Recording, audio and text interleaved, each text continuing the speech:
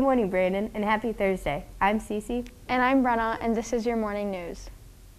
Hey Cece, do you know what today's lunch is? Yeah, who doesn't? It's pizza day. They're also serving warm ham and cheese sandwiches with a side of fruit or salad. Today is National Random Acts of Kindness Day, so make sure to fill up someone's bucket every chance you get. Don't forget to stop by Miss Kelsey's room after school from 225 to 325 for the BHS Feminist Club meeting. Remember, all are welcome. Attention! This year's snow Snowcoming theme is Time Hop. The dance will be Saturday, March 5th, 7 p.m. to 10.30 p.m. in the cafeteria.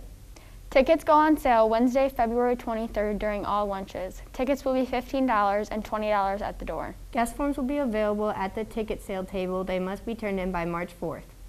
Now over to the weather. Today, Ortonville will reach a high of 49 degrees and a low of 19 degrees with a 90% chance of precipitation. And it will only be getting colder as the day goes on. So, if Mr. Stevens is watching, the weather is not good tonight. I repeat, the weather is not good. And now, over to sports. Today there will be a boys freshman basketball game at Corunna at 5.30 and a boys JV home game at 7. There will also be a boys varsity swim meet at Carman Ainsworth at 6. Make sure to go and show some support. Now, back to the studio.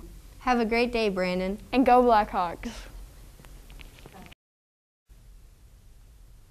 I pledge allegiance to the flag of the United States of America and to the republic for which it stands, one nation, under God, indivisible, with liberty and justice for all.